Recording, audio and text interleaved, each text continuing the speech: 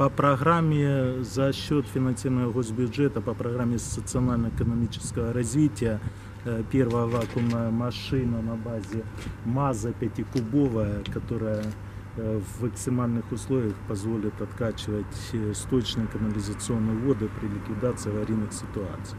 На сегодняшний день э, машин э, в Краматорском водоканале 5 единиц. Э, Самая новая это 86 года. Э, Ну, то, то есть это э, по сравнению с э, данным автомобилем э, совсем устаревшая и по техническим ка- характеристикам э, намного уступает э, по э, шлангу. Данная машина способна выкачивать от э, глубины э, 6 метров сточной воды э, плотностью более 1100 миллиграмм на э, литр. А те, которые машины у нас присутствуют, это от 4 метров. Краматорский водоканал за счет средств городского бюджета при патронате народного депутата Ефима приобрели регуляторы давления, э, подачи питьевой воды диаметром от 80 миллиметров до 200, что позволит э, оптимизировать систему подачи воды э, в районах, в центральных районах города.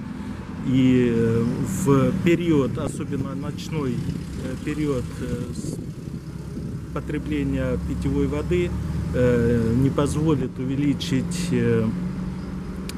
давление воды больше 5 килограмм, что снизит в свою очередь количество утечек и э, тем самым обеспечит стабильное водоснабжение для жителей города Краматорска.